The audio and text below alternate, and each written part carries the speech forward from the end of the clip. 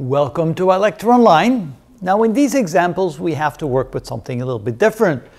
Notice that we don't have the equations in the general form, so we probably want to convert that first, but also we want to make sure that we're dealing with the equation of a circle.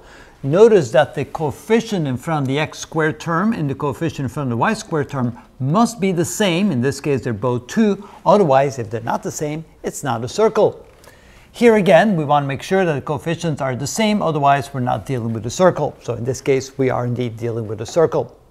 Now, if we want to put into the general form, we want to get rid of the number 2, so we're going to divide both sides of the equation by 2 to get rid of that coefficient.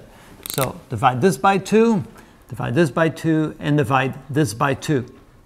All right, that means we now end up with x plus 1 quantity squared plus now, even though it says y squared, we could write it as y minus 0 squared if that helps you understand where to put that central location of the circle, the center of the circle, and then this is equal to 4. Now 4 can be written as 2 squared.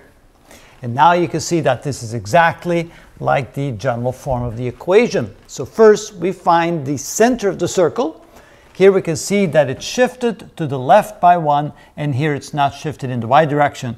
So in the x direction, it's shifted to the left by 1, negative 1. In the y direction, it is not shifted, so the center of the circle as is, is at minus 1 and 0.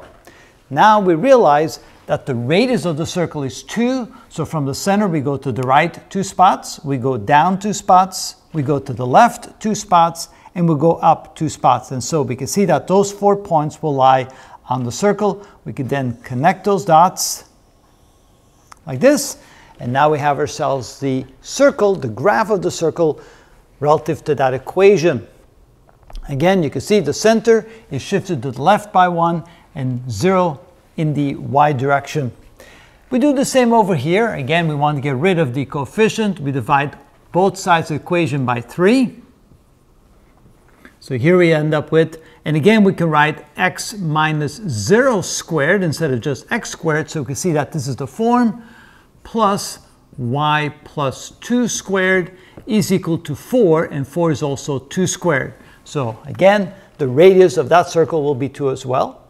The center can be found by realizing that in the x direction there's no shift, in the y, the y direction the shift downward, down to negative 2 so that the center is at 0 comma negative 2.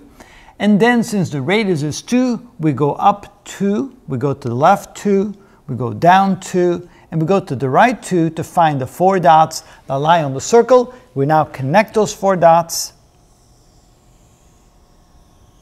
like so. And there's the circle again with the same radius but shift in a different direction down 2 and 0 in the x direction. And that is how it's done.